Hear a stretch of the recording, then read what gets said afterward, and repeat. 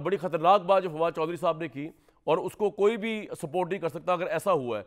वो आपके लिए छोड़े जा रहा हूँ, मियाँ जावेद लतीफ़ साहब, ज़रा सुन लें, अगर तो ये हुआ है तो फिर तो आप लोग जवाब दें और आपने अगर ये भयानक साजिश रचाई है तो फिर आप कोर्ट ऑफ़ लॉ को भी जवाब दें, अवाम को भी सुनवा दें फवाद साहब ने हमले की तफसीत में क्या बताया, कि प्लानिंग कैसे हुई है मियाँ जावेद लतीफ़ साहब प्रेस कॉन्फ्रेंस तो आपने की थी, मजहबी जज्बात आपने उभारे हैं। इसको इस तरह देख रहे हैं फवाद चौधरी साहब तहरीक इंसाफ के, आपने कॉन्टेक्स्ट बनाया।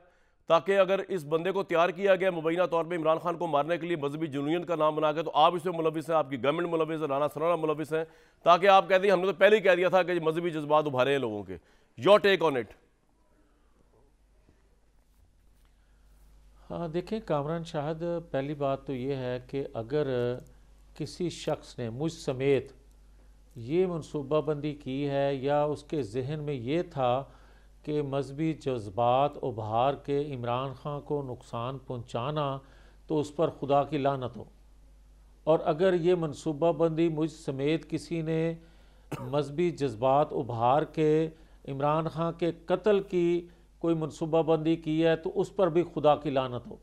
मगर जो झूठ बोल रहे हैं, इस हवाले से कि इसको कोई और रंग दिया जाए इस वाक़े को और उनके इलम में भी है कि ऐसा नहीं है जो वो कह रहे हैं तो उनको अल्लाह हदायत दे। मैं अब बात करना चाहता हूँ कि मैंने जो बात की थी जो आ, क्लिप लेकिन आपने मजहबी एंगल उठाया कि मियाँ जावेद साहब को पता है इस मुल्क के अंदर एक वाकया हो चुका है सलमान तासीर साहब वाला। वो आपने तो बड़ी खतरनाक एंगल उठाया ना फिर कामरान एक सेकंड अब मुझे इंटरप्ट किए बगैर मौका दीजिए बड़ा हसास इशू है। मैं आपको ये कहना चाह रहा हूँ कि मैंने वो क्लिप सुनवाए इसी चीज़ से बचने के लिए। मैंने इमरान खान की भलाई के लिए कि ये काम किया। मैंने कोई अपने पास से जेर ज़बर नहीं की।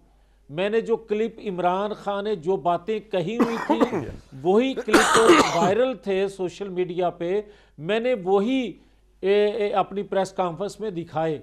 मैंने वो क्लिप जो हैं वो इसलिए दिखाए कि जो बातें की जा रही थी वो बातें ये थी कि मैंने उस, वो क्लिप दिखाने के बाद ये कहा कि इमरान खान साहब, अल्लाह आपको हदायत दे, वो ये दे कि आप लोगों के मजहबी जज्बात से खेल रहे हैं।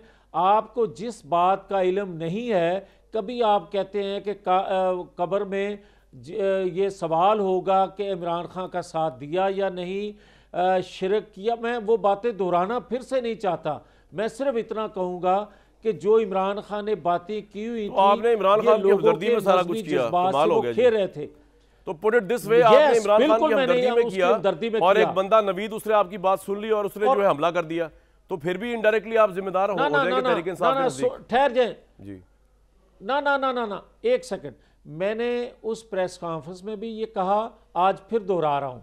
मैंने ये कहा कि इमरान खान साहब आपको मज़हब के बारे में इतना इलम नहीं है।